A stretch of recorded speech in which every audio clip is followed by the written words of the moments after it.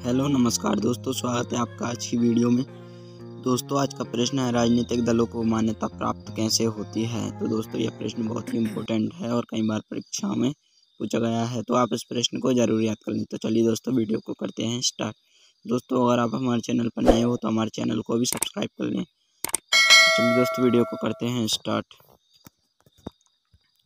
कोई पंजीकृत दल तीन विभिन्न राज्यों में लोकसभा की कुल सीटों की कम से कम दो प्रतिशत सीटें हासिल की हों।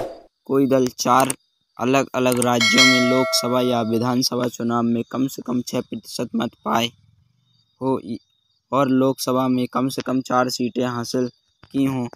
किसी भी दल को कम से कम चार या उससे अधिक राज्यों में राज्य स्तरीय दल की मान्यता प्राप्त हो।